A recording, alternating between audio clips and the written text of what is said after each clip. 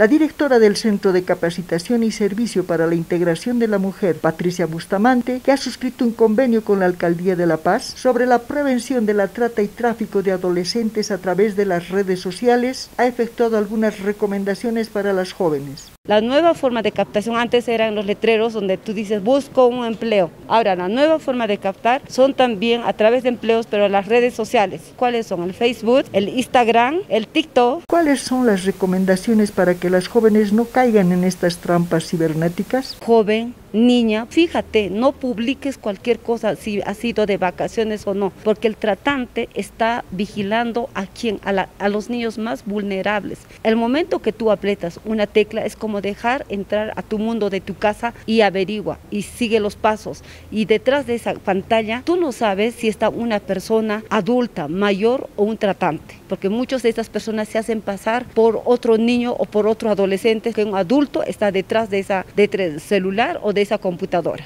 Si tú ves que hay alguna que te está alertando algo muy raro, habla con la persona más confianza, porque muchos adolescentes no tienen confianza con su padre. Habla con un docente, habla con el vecino que tú tienes de confianza, pero habla con un adulto.